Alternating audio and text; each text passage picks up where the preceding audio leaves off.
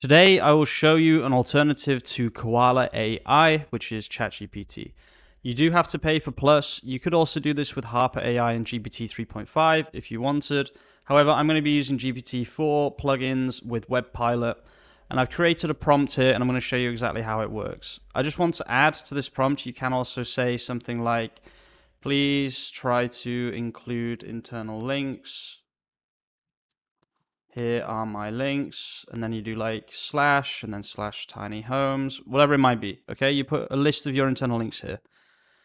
Now what this is doing is basically i'm telling it product one image one okay? So all i did was search for best portable toilets for tiny homes which is a keyword. If you want to know how i found my keywords go on my channel click on playlists or just go to the description and find this playlist here this playlist has everything in it that I'm doing to rank on Google. The effects so far are pretty good. 251 impressions, 18 total clicks. I'm trying to get to 100 clicks per day. But more interestingly is this article right here. Best solar panels for tiny house. This was written by Koala, but um, what I'm going to show you in this video does the same thing. I'm not saying you should use this over Koala. I'm going to keep using Koala, but I just wanted to give people on an alternative if they wanted to produce a lot of content, because unfortunately Koala only gives you 100,000 words, and also Koala's quite expensive, to be honest with you. So, let's press enter on this prompt and see what happens. You can get the prompt in the description and also the playlist in the description, all that good stuff.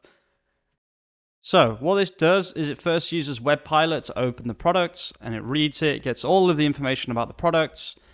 So it does the first product and then the second product. Uh, this is just how it works basically. So it gets all of the information about the products and then afterwards it will start to write the article. So if I scroll down, you can see best portable compact toilet for tiny homes, top choices, and then it has a little table because that's what I told it to do. You can make this table look better. You can make it look like a real, um, like what's it called? A real comparison table. I'm just doing two. I'm not adding any CSS. You can do whatever you want with this. You can add CSS afterwards if you really want to. But to be honest with you, what I'm currently doing is just copying and pasting like this.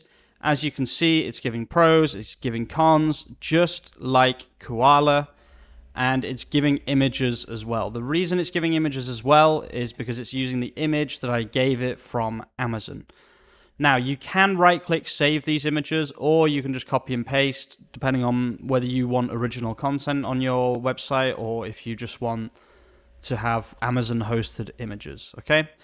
So a couple of things. You can easily improve this prompt. You can get it to write more content. You can give it more content to read. You can give it more products. It really doesn't matter. You can do whatever you want with this prompt. I'm just showing you how to do this technically and then go mad with it, do whatever you want in the end. Okay?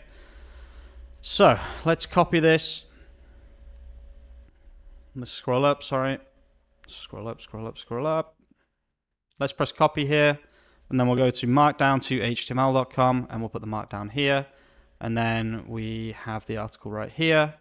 Take the raw HTML and then just go to your website the good thing about raw HTML is that it copies and pastes directly into WordPress. So once you're on WordPress, add a new post. Probably most of you know all this already. I'm just showing it just in case. You can add categories afterwards. Okay, for now I would just focus on writing content. You can just hit Control V and you can see it puts everything nicely. So one thing that I noticed, I wasn't sure if this, these were paragraphs or not. It seems these are all paragraphs. That's fine. You can change these or you can just make sure the prompt understands what you want it to do. Okay, so obviously this prompt here wasn't good enough. Um, I didn't tell it to use H2 and H3 tags, etc. So just make small changes to the prompt. Just try and get it to do exactly what you want it to do. But overall, this is comparable to Koala.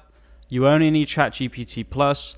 There's no limit to how much you can write and it does internal links, which um, at the moment Koala does not do internal links.